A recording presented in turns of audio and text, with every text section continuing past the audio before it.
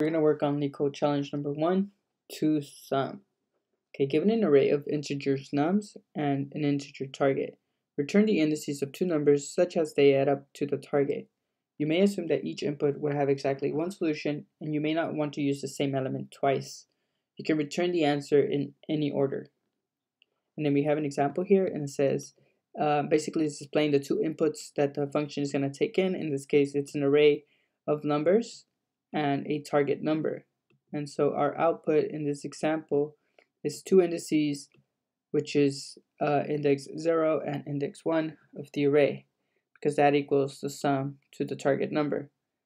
And it has the explanation here in the example. So nums 0, which is this array at index 0, we have the value of 2, and we're going to add that to nums at index 1, which is 7.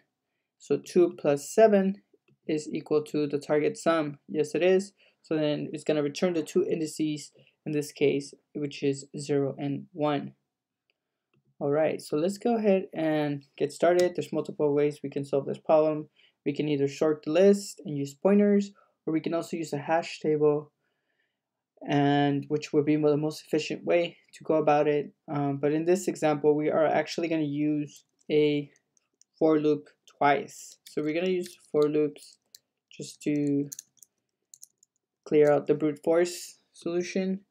And so we're going to use for declaring a variable i and send it to the value of 0 and then we're going to say as long as i is less than the length of our array we want to go ahead and increase that value by one each iteration.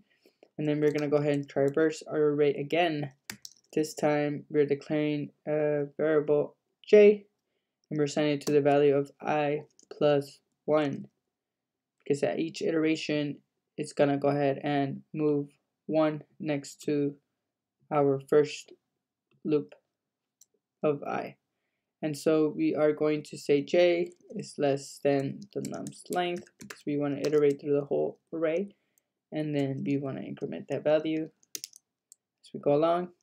And so we're going to set the condition if let's say nums